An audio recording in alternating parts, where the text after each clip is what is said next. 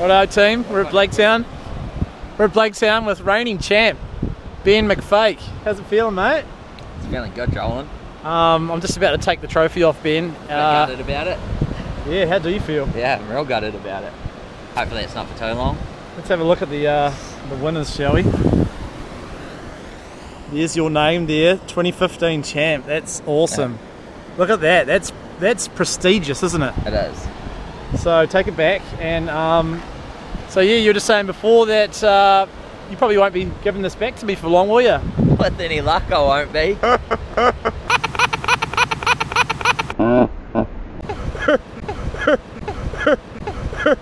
So top three for this year's. Um, what do you reckon? What's the forecast? Who's going to be your top pick three? Pick three you choose from. Likely winners for this year's comp. Likely winners. Oh, we've got a phone. Yeah. We've got a caller. We've got a caller in. Hang on. Let's see what this is. Hello? Ask them. Ask whoever it is on the Yeah, phone. Dad, I'm down the beach right now doing an interview of Jolan. Yeah, oh, I'll be back soon. So, Who's that? that was Cam.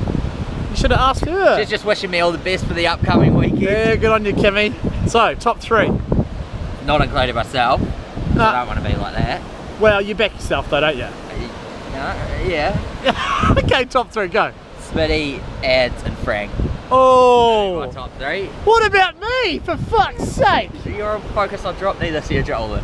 Yeah. Oh well. Um, so there it is, the champ. Hand it over, mate. Reluctantly, hand it over. He's not happy. Not happy at all. Thanks, Ben.